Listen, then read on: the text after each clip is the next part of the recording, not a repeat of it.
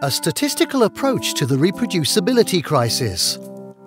Currently, many research fields are undergoing what experimentalists have dubbed a reproducibility crisis.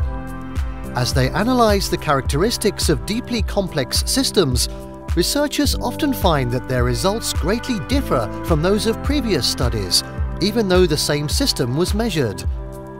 The consequences of this crisis are felt particularly strongly in medicine and social sciences, yet its effects also extend to many other fields across biology, chemistry, and physics.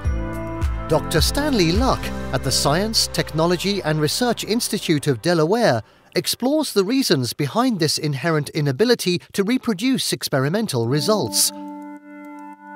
In recent years, statisticians have proposed that the mathematical techniques we use to describe experiments on complex systems could lie at the root of the problem. In order to move past the reproducibility crisis, it may be crucial for experimentalists to rethink these methods. Within complex systems of variables, close relationships can form between pairs of interacting elements, so that any change in one variable can directly affect another, to which it is inherently linked.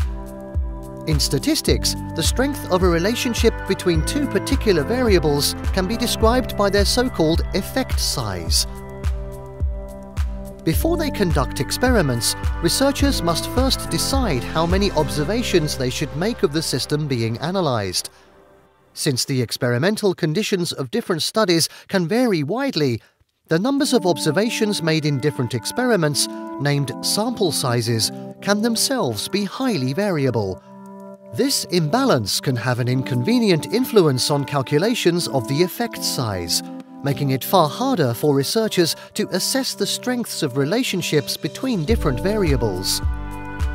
If the sizes of samples produced in different experiments are more unbalanced, Dr. Luck shows through his techniques that measurements of the effect size can vary widely, with significant negative consequences for experimental reproducibility.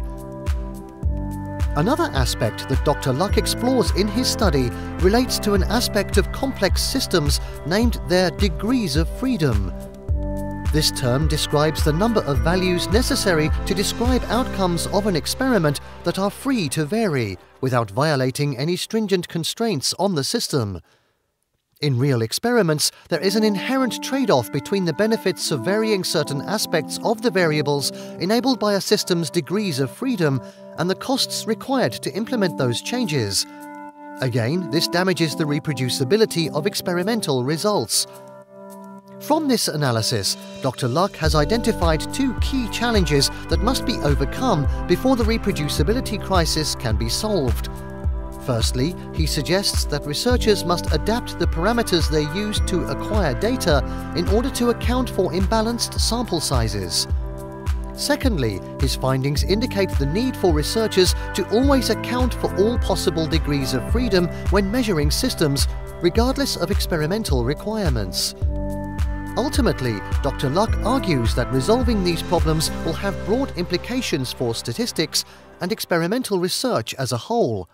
If both requirements are met, researchers could ensure that their experimental results can be fully recreated in subsequent studies.